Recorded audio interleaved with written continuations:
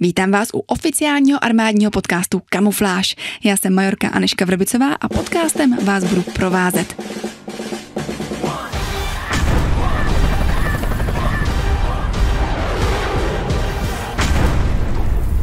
Dnešní díl bude trošičku netradiční, protože ve studiu nemám jenom jednoho hosta, ale dva.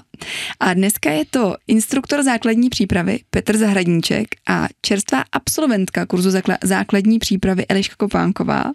A tihle dva spolu teď strávili šest týdnů, teda nejenom spolu i s ostatníma rekrutama ve Vyškově, eh, na kurzu základní přípravy a dneska nám povypráví o tom, co vlastně všechno musí lidi zvládnout, jak to probíhá, no a kdo by se třeba do Vyškova chystal, tak se i dozvědí, co si třeba zabalit. Je to tak? Je to tak. Ahoj. Ahoj.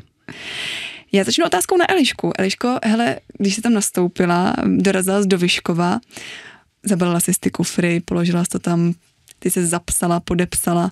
Co byl ten moment, kdy jsi uvědomila, sakra, já jsem v armádě. Tak ten moment nastal, bylo to zhruba během první hodiny, když eh, jsme museli vlastně utvořit eh, čtyřstup a odpochodovat. To byl vlastně můj první, první zkušenost s nějakým vojenským vystupováním odpochodovat si pro odběr strany, stravy. A tomu jsem si vlastně řekla, OK, takže tady se nesnídá, neobědvá, nevečeří, tady se bude odebírat strava. takže jsem si odebrala tu, tuším, bagetu, dvě klobásy a nějakou sušenku, kterou jsme dostali vlastně po zbytek dne až do večeře a odpo- odpochodovali jsme zpátky na Ička, no. takže to byl takový ten první moment. A tam si řekla, sakra, už od teď budu zelený mozek, nebo kdy to přišlo? No, o, přišlo to asi, když jsem poprvé navlíkla tu uniformu, když člověk šel do toho výstrojáku, tam teda nafasoval všechno potřebné, odnesl si to té tašce v tom jezevcovi a když jsme se vlastně na pokoji s holkama poprvé oblékli do té uniformy, tak o, to si člověk řekne, no, tak teď už teda jsem opravdu voják, ač teda s žádnými zkušenostmi, ale už to tam jako člověku naskakuje. Petře, mě by zajímalo, jak vlastně probíhá kurz základní přípravy? Řekni to prosím v kostce, protože já vím, že je to šest týdnů, které jsou extrémně dlouhý. Tak co se tam všechno vlastně lidi musí naučit a co po těch šesti týdnech zvládnou, když odcházejí z té brány do armády, teda z toho Vyškova? Eh, tak samozřejmě ten kurz základní přípravy, jak už eh, v tom názvu je, je to opravdu kurz základní přípravy a vlastně učí se tam eh, všechno jakoby pomalý a jenom ten základ. Od střelecké přípravy, to znamená rozebírání a skládání zbraní, pak je tam nějaká taktika, kde se učí plazit přískoky, je tam nějaká chemická příprava, kde samozřejmě je práce s maskou, pak je tam nějaká ženy, kde se vlastně rekruti učí, jak se správně namaskovat, anebo jak se správně zakopat. Mm-hmm. Dále potom samozřejmě tam je ženýní příprava, a v neposlední řadě je tam pořadová příprava, která vlastně slouží tak, aby věděl, jak voják má vystupovat, kde má stát ve tvaru a tak dále, protože vlastně vrcholem toho kurzu základní přípravy nebo završením je přísaha. Mm-hmm. A ještě předtím, než vlastně ty rekruti dojdou k přísaze, tak je tam vlastně taková finální zkouška, kterou tam musí absolvovat ty lidi přes noc. Jak se jí říká tyhle tý zkoušce? Tak abych to vysvětlil úplně od začátku, dalo by se to vlastně ten kurz eh, rozdělit do nějakých tři, tří fází. Ta první fáze vlastně od začátku nástupu až po začátek, kdy vlastně rekruti jsou na teoretické části, na učebnách, kde se učí teorii.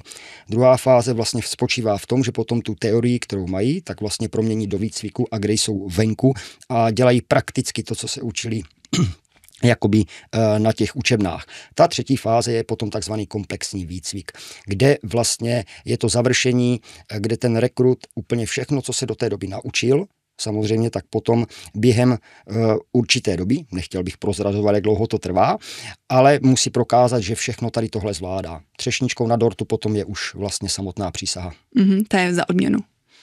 Já myslím, že musí všichni. to jsme to vzali od konce. Mě by ale zajímalo, jak eh, to bude asi na Elišku, jak se tam zžila s tím vojenským životem jako takovým. Ty jsi říkala, že to byl obrovský šok, když jsi šla odebrat stravu, když jsi zjistila, že už nebudeš jíst, ale budeš odebírat stravu. Úplně chápu, protože ty vojenský uh, slovíčka jsou fakt zvláštní. Já osobně s tím doteď mám občas problém, když na mě někdo mluví tou vojenskou hatmatilkou. Jak jsi se s tím zžila, že jsi řekla, OK, tak uh, tohle bude pro mě?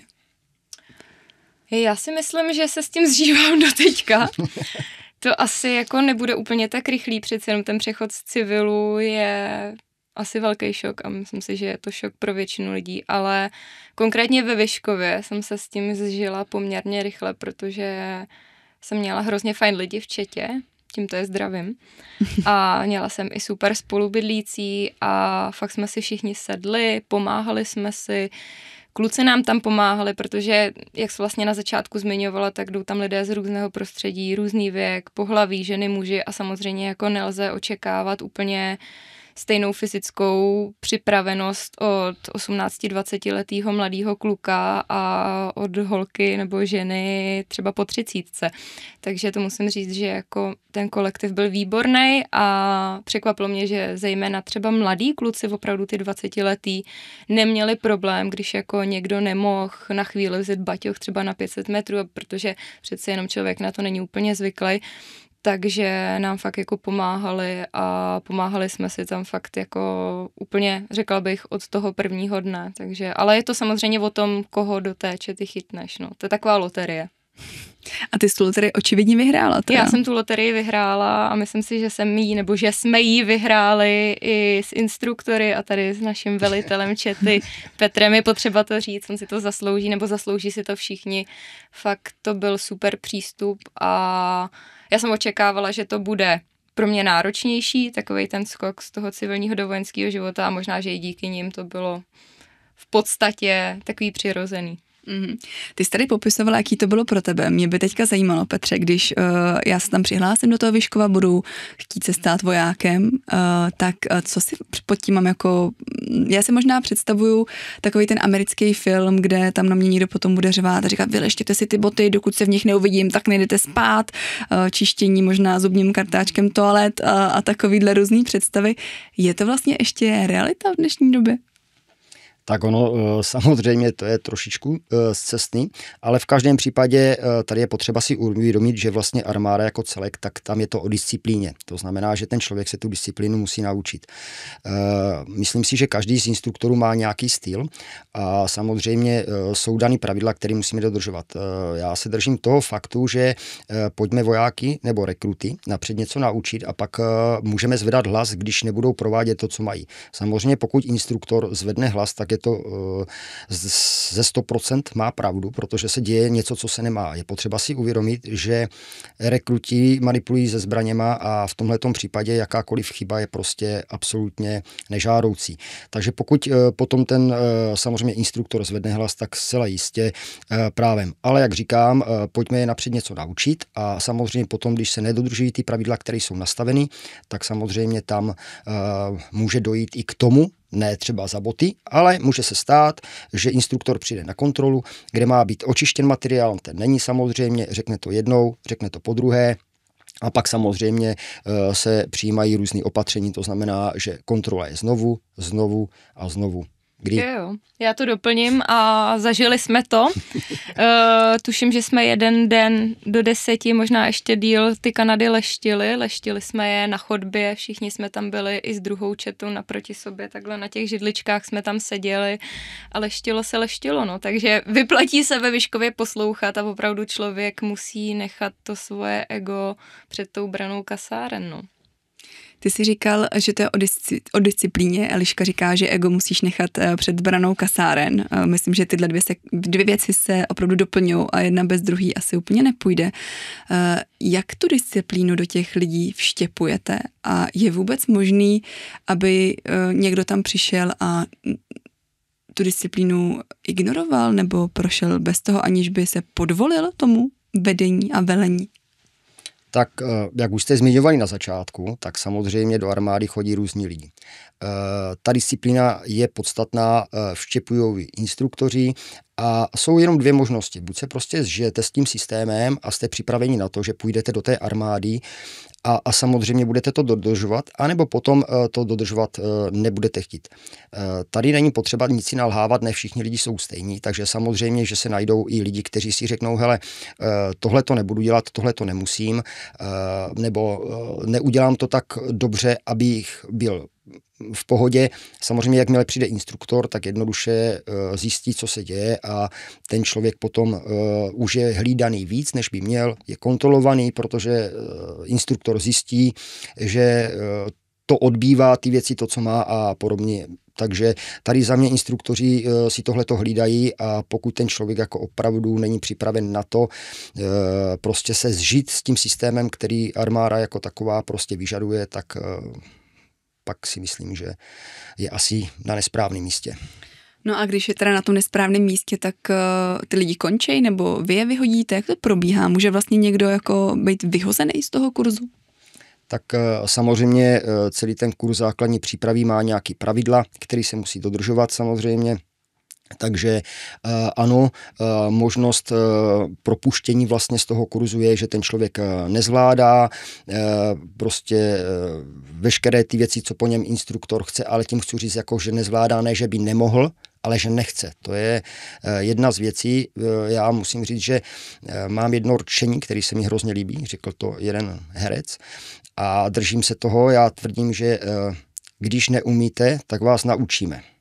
Když nemůžete, tak vám pomůžeme. Ale když nechcete, tak vás nepotřebujeme. Mm-hmm. Takže samozřejmě tam jsme od toho, aby jsme naučili ty lidi, pomohli jim, i s tou fyzickou věcí, ale oni musí chtít sami. Nemůžou si říct, teďka mě hlava řekne, já už nemůžu, ale není to pravda. Takže ten člověk opravdu, říkám, je to můj subjektivní názor, musí opravdu chtít. Jestliže nechce, eh, tak potom eh, je na zvážení toho daného člověka, jestli opravdu si vybral eh, správné povolání nebo ne, protože ne, co si budeme říkat, ne pro všechny ta armáda je. Mm-hmm. Ty říkáš, že někteří lidi si to nastaví v hlavě, že už nemůžou. Setkal se třeba s tím, že se ty lidi flákali, že se to snažili obejít, že se říkali, tak tady ty boty tak jako trochu poleštím, aby to nebylo vidět, nebo tady teda jako popoběhnu a když se otočil zády, tak už se šli krokem, že prostě flákali to, nedávali tomu maximum, který mohli. Já bych neřekl, že to je až flákání, ale nicméně musím s tebou souhlasit, je to tak. Samozřejmě, že jak jsme se bavili, tak jsou různí lidé a někteří eh, se snaží jakoby eh, tím kurzem pouze proplout. Nedají do toho všeho všechno. Jo. To jako nebudem si tady e, nic malovat, je to tak. Pak jsou lidi, kteří opravdu do toho jdou naplno a samozřejmě, že e, se snaží udělat maximum. E, co se týká přesunu, tak samozřejmě instruktoři, kteří jdou na ty přesuny, tak jsou tam vlastně i zdravotníci, e, ve směs všichni instruktoři a to si myslím, že u druhého výcvikového kurzu to platí stoprocentně. Moc dobře poznají na člověku, kdy mu je a kdy má zdravotní problém. Pokud má zdravotní problém, samozřejmě eh, je tam zajištěný odvozový vozidlo, kde odveze toho daného člověka na ošetřovnu nebo cokoliv jiného. Ale jsou případy, kdy prostě ten člověk jako si řekne, že už nechce, že už nemůže a, a prostě nechce jít. V tom případě ten instruktor vidí, že ten člověk do toho opravdu nejde naplno, jo, i když třeba fyzická zdatnost je někde jinde, takže tam samozřejmě potom ten instruktor tlačí na to, aby dokázal tomu člověkovi, že ještě když nemůže, může dvakrát. Je to v hlavě, je to v hlavě. Super, pecka. Petr. Jo, jo, je to tak. může dvakrát. OK, no ale eh, když teda já tím kurzem propluju, teď si řeknu, OK, tak tady to nějak vošmelím, abych nemusela úplně těch 10 kilometrů, nechám se svízt, budu dělat, že mě bolí pata, hm, tady tu dráhu taky nepoběžím, protože řeknu, že mě bolí rameno, tak nějakým teda propluju, ten kurz zvládnu a přijdu na ten útvar. Nekousne mě to víceméně tak trochu do zadku, tohle moje flákání a obcházení na tom kurzu základní přípravy? Jsou dvě samozřejmě možnosti. První je ta, co říkáš ty, že se ti to několikanásobně vrátí, protože samozřejmě, když ty přijdeš na ten útvar a jsou tam lidi, kteří prostě eh, mají nějakou fyzickou zdatnost, eh, dělají ten tělocvik, anebo mají chování tak, že prostě se zžili s tou disciplínou a ty tam tímhle tím způsobem přijdeš, tak samozřejmě, že se ti to vrátí. Je to otázka času, poznáš tam spoustu eh, lidí a když oni budou vidět, že opravdu ty to nechceš dělat a nebo že tím jenom proplouváš, anebo že ti stačí tady to, zcela určitě si myslím, eh, že ti to dají najevo.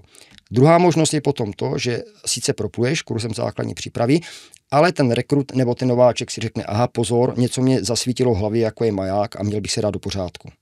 A tím pádem se musí přepnout do úplně jiného režimu a říct, hele, od teď to bude jinak, teď nastupuju na útvar a já tam nechci nastoupit s tím, aby si o mě mysleli tak, takový a takový věci.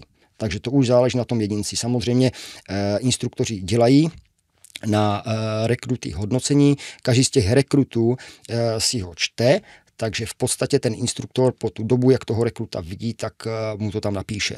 Jo? Takže co se týká, říkám, na první četě a i druhého výcvikového kurzu. Všichni tam měli napsaný tak, jak jsme to instruktoři viděli, to znamená, že tam nebyly pouze jenom ty kladné stránky, ale i záporny. Já bych to možná doplnila, jestli můžu, tak ten člověk, který to tam fláká, tak není potom populární. A ať jste jako jedna četa, měli byste přesně držet jeden za všechny, všichni za jednoho jako mušketýři, tak samozřejmě, když tam máš člověka, který, a všichni ostatní to vidí, se ulejvá v podstatě z nějakých věcí, chodí na ošetřovny, tak pak samozřejmě to není úplně příjemný i pro ty ostatní, kteří tam fakt jako dřou, nechají tam kolikrát kus sebe a vidí, že někdo to tam takhle fláká. Mm-hmm. Eli, a jak ty jsi trénovala, než jsi vlastně nastoupila na ten šestitýdenní kurz? Jak jsi připravovala, aby si byla v té kondici? Protože asi na těch testech to prošla, ty holčičí testy jsou docela nízko nastavené, když se to tak řekneme, takže tam to asi zvládla v pohodě, ale přece jenom všichni víme, že kurz základní přípravy je, pokud se nepletu, především o tom, že člověk furt chodí a běhá a tahá těžký batoh. Tak jak ses na tohle připravila? Přesně tak, jak říkáš. Samozřejmě jsem chodila pravidelně běhat. I v dešti? Ne, v dešti ne. jednou, jednou jsem si šla před Vyškovem zaběhat v dešti, ale vlastně omylem, protože začalo pršet, když už jsem vyběhla, tak jsem si říkala, že by byla škoda nejít. Jezdila jsem, jezdila jsem na kole, protože ráda jezdím na kole a Chodila jsem, protože pocházím z Českého ráje, tak uh, jsem chodila do prachovských skal s batohem a říkala jsem si, to je super, to natrénu na ty přesuny. No a pak jsem šla první přesun tady s Petrem a Petr nám řekl, že půjdeme 7 kilometrů. No, akorát nám teda zapomněl říct, že těch 7 kilometrů je to jenom do toho bodu, kam jsme měli dojít a samozřejmě to bylo minimálně 7 zpátky. Ne, fakt, potom... to už si nepamatuju. Je, jo. A ještě bych ráda podotkla, že i když si člověk myslí, že je nějakým způsobem připraven a celý život víceméně sportuje, tak eh, ty zrychlený přesuny, to je něco, na co se člověk asi úplně nepřipraví, protože, jak jsi zmínila, máš na sobě celou dobu ten batoh, máš přes rameno toho brena, opasek, který taky něco váží, máš ty pro mě ze začátku nepohodlný Kanady, nebyly úplně prošláplý, takže samozřejmě se ti dělají puchýře. A když jdeš tady Petrovým tempem, uh, tak já myslím, že Petr si pamatuje, že jsem si hodně zanadávala během toho prvního zrychleného přesunu. Myslím si, že mi ukápla i slzička. A asi se to nestydím přiznat. A jo, to bylo náročné. No.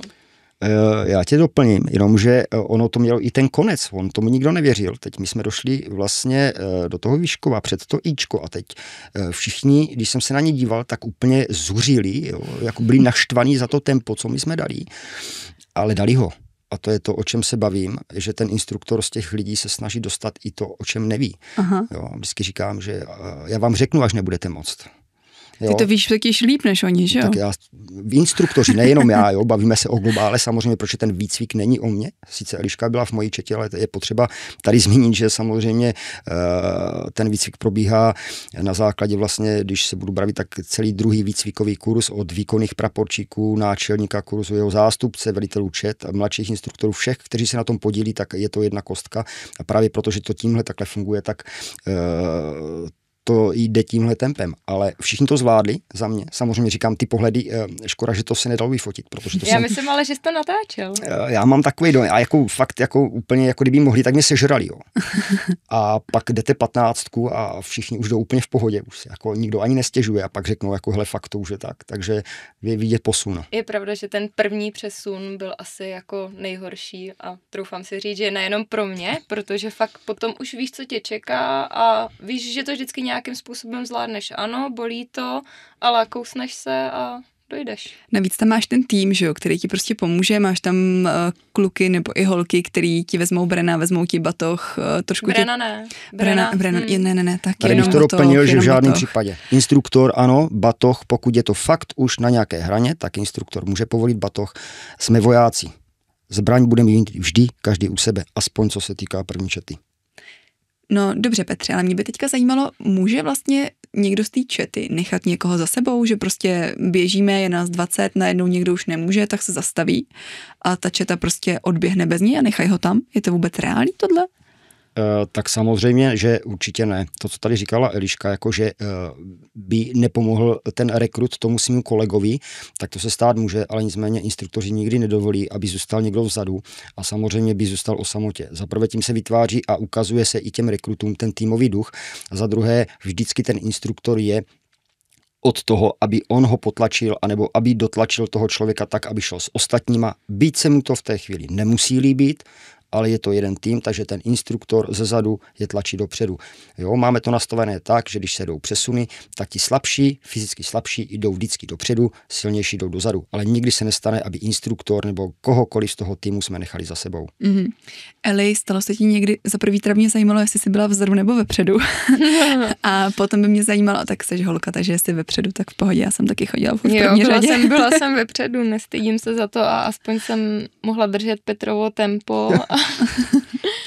a A, a mě připomínky. Přesně tak, a mě připomínky. Ne, eh, šla jsem vepředu, šla nás většina holek vepředu a samozřejmě i ti fyzicky slabší kluci, protože i tací tam byli, bylo jich málo, ale i tací tam byli. No ono se to totiž nezdá, ale ten tvar, já nevím, možná to posluchačům trochu popíšem, eh, ten tvar, to jsou prostě eh, řady za sebou, třeba po čtyřech a teď vlastně čím více člověk vzadu, tak tím rychlejší to tempo je, ač ty vepředu jdou třeba úplně lážo plážo. Přesně Takže tak. proto se ten tvar otáčí, že jo, Petře, že vlastně vepředu jdou ty pomalejší, protože pak ty dvoumetrový dlouháni vzadu jsou furt v klidu, že jo, jestli se nepletu. Přesně tak, máš pravdu. Mám pravdu, protože jsem taky chodila vepředu. OK, Eli, mě by zajímalo, jestli ty se dostala někdy do situace, kdy ty si třeba potřebovala pomoc, kdy už si fakt nemohla, byla jsi na tom svým pomyslným dně a říkala si, jo, já už na to nemám, prostě já to tady dneska vzdám, končím, už nechci. Tenhle moment jsem jako úplně neměla, nicméně říkám, byly tam momenty, kdy mi jeden kamarád z Čety párkrát ten batoh vzal. Vzal mi ho třeba na 200, 300, 500 metrů, protože si člověk odpočinul těm zádům. Pak jsem si ho vzala a jako nutno říct, že i těch 200 metrů, když fakt jako se nezastavuje a jde se furt ten zrychlený přesun, tak i těch 200 metrů, kdy si uvolníš trošku ramena, ti pomůže. No a teď ta otázka na oba dva. Je vůbec účelem tady tohohle kurzu základní přípravy, aby si ty lidi sáhli na dno? Jak, jak to bereš ty, Eli? A pak bych Petra poprosila, jestli to fakt ten účel je nebo není.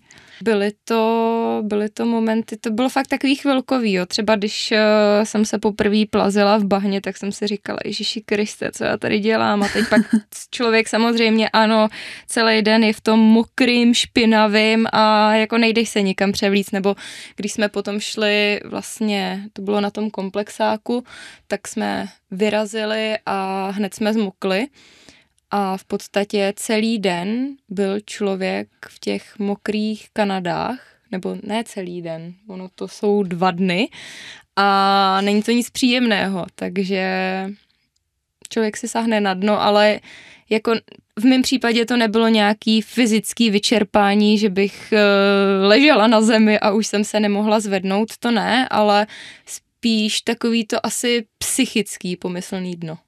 Takže je to spíš nároč, náročnější na tu psychiku, než na ten fyzický stav jako takový? Pro mě jo. Tak samozřejmě účelem není nikoho dostávat na nějaký fyzický dno. Tím účelem instruktoru je ukázat těm lidem, že v podstatě oni mají na daleko víc věcí, než sami si myslí, když tam přichází. Člověk si myslí, že odejde dva kilometry s plnou polní a nedělá mu to problém. A tam zjistí, že odejde 10 kilometrů s plnou polní. Takže účelem není nikoho samozřejmě dostat na dno, ale ukázat, že v tom člověku je daleko víc síly, než on si sám myslí. Co se týká té fyzické zdatnosti, vlastně v podstatě čím líp, tak eh, eh, tím ten eh, člověk to lepší zvládá. Samozřejmě, jak tady už řekla Eliška, tak pak je druhá stránka, což je psychická, že jo? a to je úplně jiná rovina. Mm-hmm. Řekl bys, že ty lidi, kteří přichází do toho kurzu základní přípravy, to mají v hlavě srovnaný, že jsou na to mentálně připravený, protože my jsme se tady bavili o disciplíně, Eliška to říkala, prostě byl to šok, jako najednou jsem měla stát v nějakým dvojřadu a bylo pochodem vchod, tak jsou ty lidi mentálně připravení na tu disciplínu a na ten řád, který je tam čeká. Já si myslím, že eh, a je to můj osobní názor, že na to se připravit nedá. V podstatě, když se člověk uvědomí, že vás někam, jak jsem říkal, zavřou do jednoho pokoje, jste tam tři lidi, je tam jedna sprcha, jeden záchod, každý máte úplně jiný sociální věci. Teď vlastně vy uh, můžete vědět, jak asi probíhá kurz základní přípravy. Ale do té doby, dokud tam nejste, tak je to furt jako co si představujete. Jo? Takže si myslím, že psychicky na tohle se jako připravit nedá. Samozřejmě, že jsou lidi, kteří psychicky potom uh, zvládají ten tlak tu psychiku lepší a někteří hůř. Jo, samozřejmě ti, co tu, ten tlak psychicky zvládají lepší, tak potom mají samozřejmě lepší výkony, ne, nezaobírají se uh, zbytečnostma a opravdu dělají to, co mají. Mm-hmm. Eli, teď teda Petr říká, že se na to mentálně připravit nedá. Nicméně poradila bys třeba lidem, jak k tomu přistoupit v tu chvíli, když jsou pod tím tlakem, aby jim tam bylo nejenom fyzicky, ale i mentálně líp, aby to prostě dali, aby je to nezlomilo svým způsobem? Já jsem si vždycky říkala, jednou to skončí a ono opravdu všechno někdy skončí, takže i když víš, že do kasáren ti chybí ještě 10 kilometrů a už opravdu seš na pokraji těch svých sil, i když, jak by Petr řekl, tak nejseš, ale ty si to myslíš, tak fakt si říkáš, dobrý, tak ještě hoďku, hoďku a půl a sundám ze sebe ten bagl, třeba i boty, když ti to Petr povolí, protože někdy jsme museli být až do večera, ale pak zase, když jsme poslouchali, tak se povolilo jít do pantoflí a opravdu, když máš celý den na sobě ty Kanady, teď na to nejsi zvyklá a máš to od rána v podstatě do večera, tak ty nohy si taky potřebují ulevit. Takže jo, no, když jsem nemohla, tak jsem si říkala, všechno jednou končí jednou to skončí. Takže to je to hlavní moto, který bys lidem doporučila říkat si, jednou to skončí. Přesně tak. Mm-hmm. Eli, mě by zajímalo, jaká byla tvoje četa? Cítila jsi tam takový ten esprit de corps, já to přeloužím, to je takový fancy slovo pro, pro teamwork ve francouzštině, francouzsky to zní líp, tak cítila jsi tam tu týmovost a to, že jako jste ten jeden tým, jedno tělo? Cítila. Já myslím, že už jsem to vlastně v průběhu rozhovoru párkrát asi naznačila a opravdu tam byly momenty, kdy jsem si říkala, že spoustu těch věcí by pro mě možná, a teď nechci, aby to vyznělo blbě, neudělali ani třeba moji jako nejlepší kamarádi, kamarádky z civilu. Tam opravdu se s těma lidma za těch šest týdnů, ono se to může zdát jako krátká doba, ale opravdu se s těma lidma zblížíš a máš k ním určitou důvěru. Eh, vlastně nikoho jiného tam nemáš, jasně, můžeš večer zavolat domů nebo napsat domů, ale v podstatě tam přežíváš 24-7 eh, s těma lidma v té četě, takže jenom na tobě, jak ty k tomu přistupuješ, jak k tomu přistoupí ostatní, ale vlastně, když tam ten týmový duch bude, když si ho utvoříš, tak je to pro všechny, pro všechny snaží. Možná bych ještě vypíchla jeden moment, vlastně je to zkušenost, eh, ne moje vlastní, ale co jako jsme tam zažili v Četě, tak vím, že tam byl okamžik, kdy třeba jedna kolegyně z Čety už nemohla. A kdy já sama, ačkolikrát mi někdo vzal ten batoh, tak jsem prostě cítila, že fakt té osobě musím pomoct, že to je svým způsobem moje povinnost. A vím, že jsem tam tenkrát do ní jako bušila, doslova jsem jí fakt jako takhle tahla za ten límec.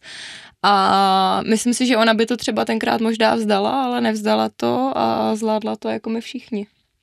Takže vlastně tam se ukázalo, že ten tým ti vlastně může i pomoct. I když ty už ty síly nemáš a nemůžeš, tak někdo tě může vytáhnout a pomoct ti překonat tu tvoji nějakou krizi. Určitě, určitě. A vlastně říkám, jako já jsem sama nemohla, sam, sama jsem toho měla dost, ale když jako vidíš, že ten člověk by to třeba možná vzdal a ty nechceš, aby to vzdal, protože fakt říkám, vytvoříš si tam nějaký pouto, tak uh, ho motivuješ a myslím si, že jako tam lítali fakt i z prostý slovíčka, ale bez toho to nejde a fakt jako dokopeš toho člověka, aby to dokončil ten přesun. Mm-hmm.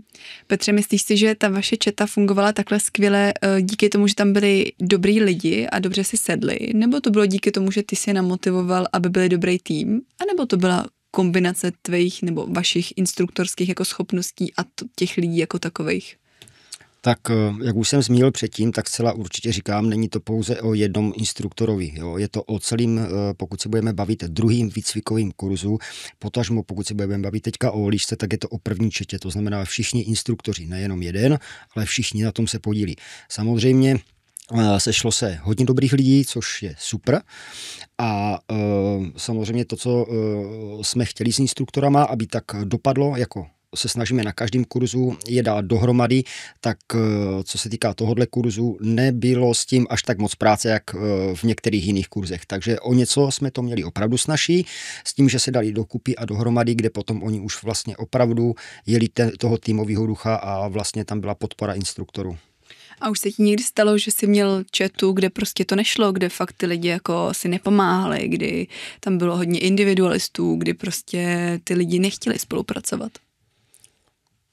Tak určitě, jako nebylo to úplně až nějaký hrozný, ale jako stalo se, že se poskládala teda četa, kdy to bylo řekněme 50 na 50, ale tam zas opravdu zas říkám, musí zafungovat těžce instruktoři a tím to musí prostě uh, potlačit tady tyhle ty věci. Být se to těm líbe, lidem vlastně jako nelíbí, že se mají chovat jinak, tak ti instruktoři prostě uh, jisté svoji práce, co dělají, tak prostě jim určí, že tohle prostě dělat budou, ať se jim to líbí nebo ne, protože ten týmový duch tam je, jo, bohužel, ale ti instruktoři samozřejmě o to to mají těžší, že eh, musí ty lidi hlídat, že jich je víc a že, eh, abych to řekl obrazně, nesežere je ten vlastní jejich kolektiv, ale musí pomoct tady v tom ti instruktoři. Mm-hmm. Mě by ještě zajímalo, teď to trošku vypadá jako, že člověk musí trošku spolknout tu svoji individualitu. Je vůbec v armádě nebo na tom kurzu základní přípravy prostor pro nějakou individualitu, pro to jako být trošku solista? Na fyzickém přeskoušení. tak to je určitě. Uh, solista bych asi neřekl, ale individualita uh, bych řekl, že uh, v té četě je spoustu lidí a spoustu rekrutů a každý je dobrý na něco jiného. Pokud budu dobrý na topografickou, tak tam bych se toho měl ujmout já a přijít a říct, hele, já vás povedu. Pak eh, je tam eh, třeba někdo dobrý na střeleckou, tak řekne, hele, já vám pomůžu tady s tím a s tím. Samozřejmě, že ty lidi tam jsou v té četě, kteří vyčnívají jakoby. Chodí si i proto, protože samozřejmě eh, během toho výcviku už je to udělané tak, že si uděláme vlastně v tom družstvu i svoje velitele, kdy za náma chodí ti rekruti, oni zodpovídají za 8 až 10 lidí a podobně a oni to potom rozhodují, takže e, pro individualitu nevím, jak říkala Eliška, určitě je to tělocvik, ale chtěl bych vypíchnout to, že pokud je v něčem někdo dobrý, nemusí být individuální, ale zcela určitě to pomůže tomu týmu. Mm-hmm. Eli, jak to vnímáš ty? Měla jsi pocit, že uh, tam je dostatečný prostor, abys pořád mohla zůstat sama sebou? Nebo zmusila to svoje nejenom ego, ale právě i tu individualitu třeba potlačit a stát se víc takovou součástí týmu a, a součástí té zelené hmoty, která tam jako vznikne z té čety? Takhle, součástí týmu jsem asi, nebo myslím si, že jsem neměla problém se stát. Já jsem hrála týmový sporty, takže jsem v podstatě v týmu vyrůstala. Uh, ale jako jo, kolikrát člověk opravdu myslí si svoje, někdo ti něco říká a ať jsem říkala, že instruktoři byli super, tak občas jsou prostě věci, co ti nedávají smysl.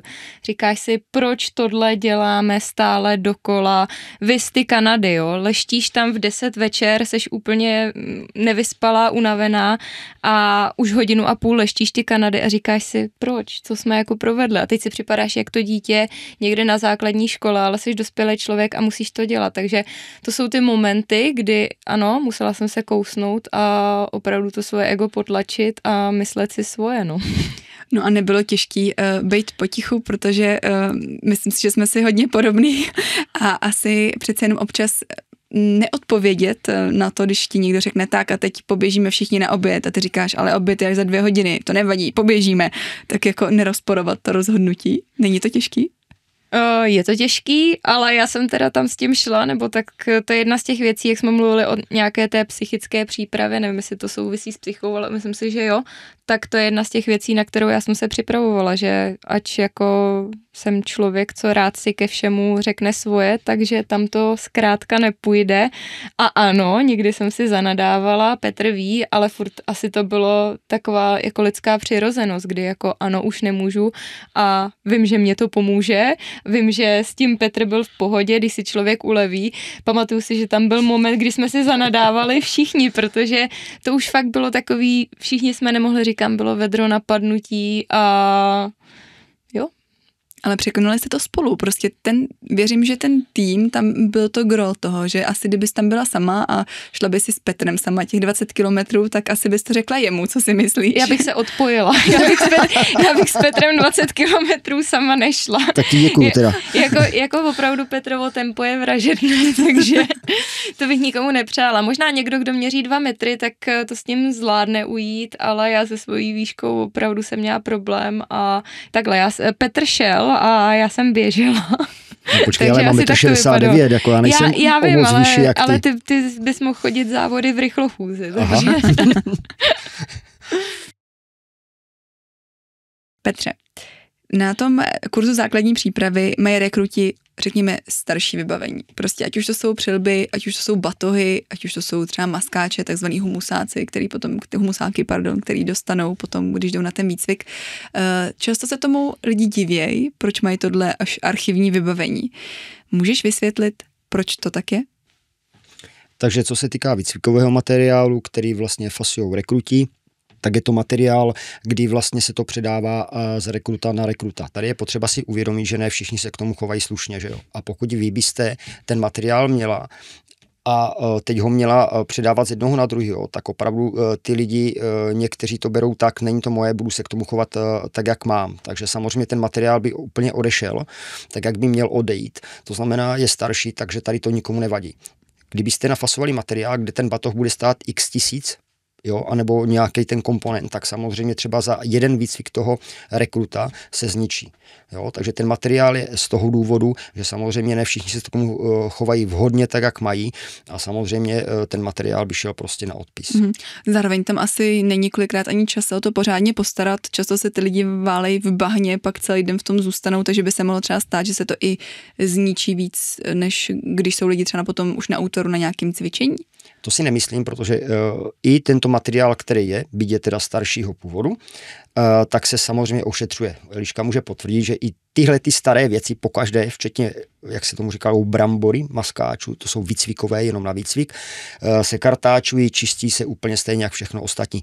Ale je to i z toho důvodu, že třeba pokud nastoupí ten voják na útvar, tak on eh, jede třeba na to cvičení, řekněme, já nevím, čtyřikrát, pětkrát do roka, záleží, kde je, kdežto tady ten materiál opravdu je permanentně v tom výcviku, to znamená, že opravdu by se zničil daleko dřív ze vším všudy. Mm-hmm. Takže se tam vlastně posouvají potom starší kousky, takže když tam přijdu na to KZP, tak nemám být vyukaná, že jsem dostala starou přelbu, na útvaru dostanu hezkou a novou. Přesně tak.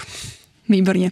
Ale mě by zajímalo, jak, jak jsi to brala ty, když jsi teda nafasovala všechny ty kousky toho, ať už to byl bren, ať už to byla přilba, eh, ty batohy, které jsou eh, prazvláštní a trošku staršího data vydání, tak uh, byla z toho třeba vyukaná trochu? Přemýšlím, kde začít. Uh... Vyukaná jsem z toho byla, ale vlastně jsem to tak trošku očekávala, nicméně mám takovou dobrou historku, to bylo, když jsme nafasovali vlastně masku plynovou a já mám takový menší, uší obličej a měla jsem tu jedničku, vlastně tu nejmenší a furt jsem jako cítila, že kde si mi to tam jako netěsní, i když jsem to utahla, jak to jenom šlo, tak jsem měla pocit, že opravdu, kdyby přišel ten plyn, takže se musím udusit tak jsem šla vlastně, šla jsem za tím výkoňákem a jenom jsem mu teda hlásila, že mě jako ta jednička malá a tak jsem si říká, třeba tady má ještě nějakou menší. Tak Půlky bylo, se nedělají. No, říká, pak už jedině dětská, ty tady nemáme, jo, takže jsem to, ale přežila jsem to s tou, s tou jedničkou, dalo se to.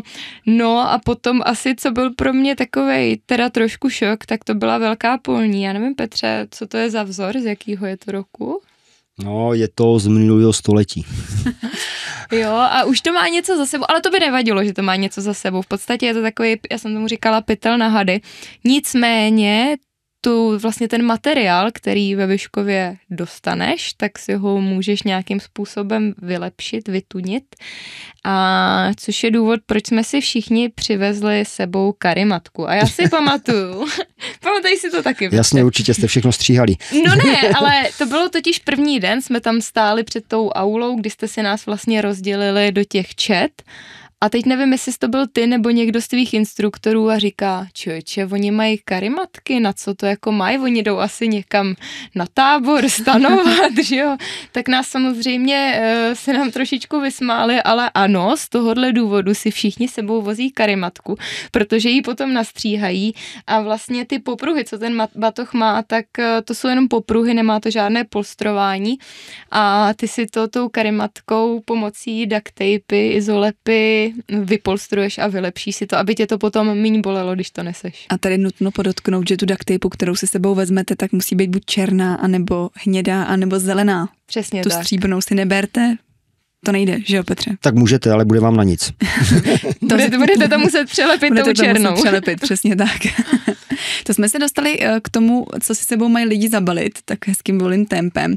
Mě by zajímalo, Petře, když vidíš, co mají lidi zabaleno, tak co je to úplně nejzbytečnější, co si sebou jako berou? Je, tak teďka budu vážit slova, abych se dostal. Uh, mně to vždycky připadá u některých lidí, když eh, nastupují ti rekruti, že vlastně přilítají uh, z dovolené, jo, minimálně z Kanárských ostrovů. Prostě to jsou dva velké kufry a uh, všechno. Ale k té otázce, tak samozřejmě rekrutační středisko vydává nějaký papír, co si lidi mají vzít sebou, co si nemají vzít sebou, je to nějaká povinná výbava a pak je nějaká doporučená. Já už nějaký rok u armády jsem, takže já si myslím, že kdyby tam člověk přišel, řekněme, byť s igelitkou a spodním prádlem, tak tomu bude stačit. Ta armáda v podstatě mu uh, dá to, co potřebuje. Jo, ale při vybalování kufru jsme opravdu, a teďka si nedělám legraci, zažili, že co se týká žen, tak nebyl problém. Fén, No počkej, to je úplně Ale to jako bez sebou, to jsme sebou měli taky. Takže právě jsme u toho jako. A pak k nám chodili kluci na pokoj. Prosím tě, mohl bych si půjčit fén, tak si říkáš na co? No on Sušený třeba... kanat. Ano, ano, přesně tak. ale to je druhá věc, já jsem nepředpokládal, že s ním budete jakoby sušit kanady, ale to je fén samozřejmě, co se týká mužů, tak tam je uh, určitý látky, že budou chodit běhat a, jako takový ty uh, různý ty posilovací Já, teďka nevím, jak se to proteiny, jmenuje, proteiny a, a přesně, protože já jako tady, jako tady tohle uh, nechodím nějak, takže a teďka zjišťují, že to tam prostě nepotřebují, jo, takže uh, opravdu, já nevím, nějaké spodní prádlo, tak jak prostě psali, tak je dobré si vzít, samozřejmě je dobrý mít nůž, je dobrý mít nějaký gumicuky, jak už jsme to tady, nebo Eliška zmiňovala, samozřejmě nějaká ta duct tapeka a podobně, ale za mě opravdu si myslím, že při tom nástupu obdrží úplně všechno to, co potřebují a já tvrdím, co nemám, nepotřebuju. Eli, když jsi tam balila, tak co opravdu si využila, co bylo to gro a co naopak by si už jako nevzala třeba do té tašky? Ty jo, myslím si, že jsem nebyla jediná, kdo měl sebou asi možná zbytečně moc civilních věcí, ale tak to byla nějaká, to vlastně jsme na rekrutáku dostali, hmm. že se sebou máme vzít a v podstatě první den jsme nafasovali všechno a ten civil jsme potom vlastně už nevytáhli po zbytek toho výcviku. Takže to byly asi zbytečnosti.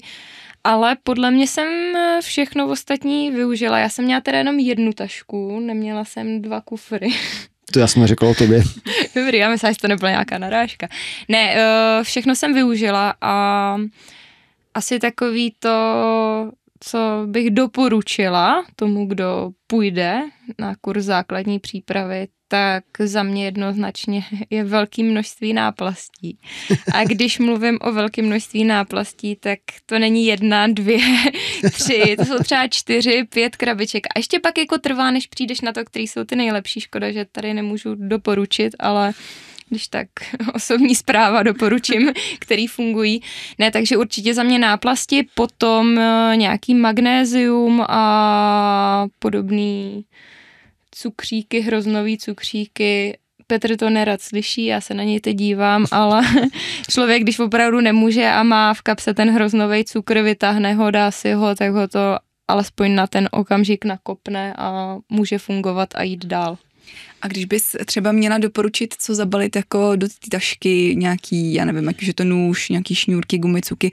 Já vím, že ten seznam, co lidi dostanou na tom rekrutáku, je docela dlouhý, mm-hmm. ale co ty jsi tam třeba fakt cítila, jako že bez toho by ses neobešla?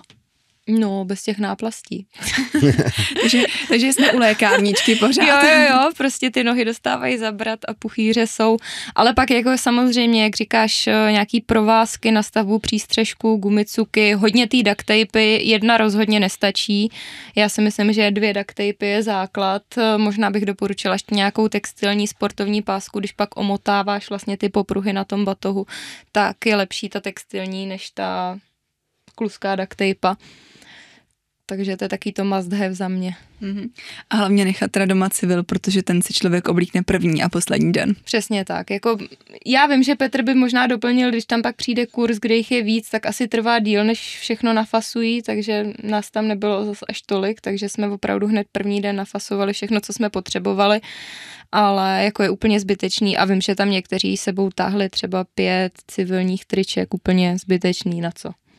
Já teda doplním Bilišku, je to přesně tak, tam vám stačí pouze oblečení civilní, ve kterým přijedete a pokud teda můžu doporučit, tak nějaké sportovní, než by se nafasovali věci, pokud by bylo víc rekrutů a nebylo by druhý den hned eh, vlastně fasování tohohle oblečení, tak aby měli sportovní, protože samozřejmě sport uh, patří k armádě. Jo, i když, nemáš, i když nemáš uniformu, tak můžeš jít běhat ve svém. Takže... Přesně tak.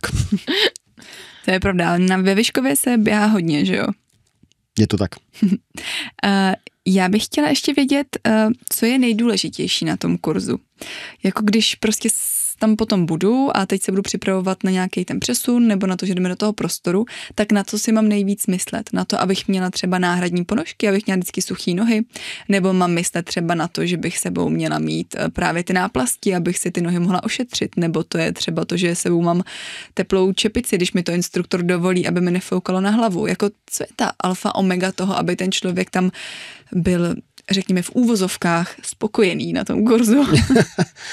Eh, tak pokud se týká tohohle, tak samozřejmě eh, tady bych ještě zmínil, že eh, každý z rekrutů má povinnou výbavu v té malé polni, kterou prostě nese. Tam to jsou je, ty náhradní ponožky? Tam jsou právě, jak říká, náhradní ponožky nebo náhradní trička. Je to prostě udělané takovým způsobem, kdy ten rekrut opravdu potřebuje jenom to nezbytně nutné. Samozřejmě, co se týká náhradních ponožek, o nohy je potřeba pečovat, to je prostě jednoznačně, ty vás nesou celou dobu. Co se týká čepice a tak dále, samozřejmě záleží i na uh, nějakým uh, období, pokud je zima, tak všichni víme, že přes 80% tepla utíká z hlavy. Člověk, pokud bude mít čepici, samozřejmě je to pro něho eh, jenom bonus, ale nohy eh, v suchu jsou prostě vždycky prioritou. Mm-hmm. Takže bys teda řekl, že alfa omega toho všeho jsou uh, zdraví a suchý nohy?